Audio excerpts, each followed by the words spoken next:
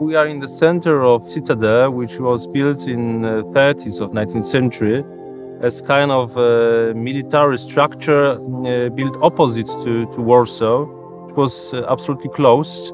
So the main task of uh, our, um, our group was to uh, involve these uh, historical buildings uh, into the, the whole museum. So if you come in, you don't feel like in a military area, but like in a museum garden.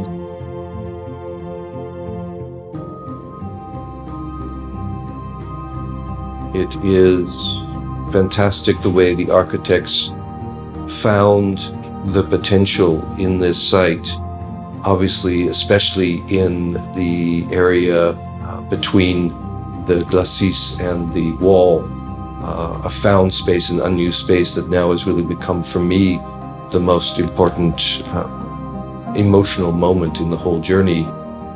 During, during our project, we had a question how to connect the new architecture with the old one, because Citadel was built, not only the caponier, but also the wall, was built of bricks.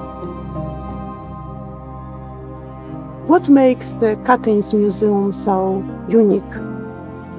The special uh, connection, maybe game, between the old existing 19th century structure and the new architecture.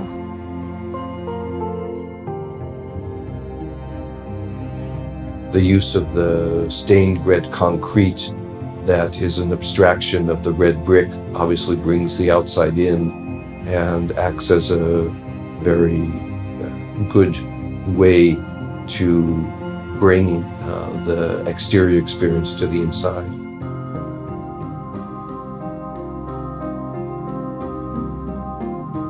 The main axis drives through the old bastion like a symbolic tunnel that connects the death and life.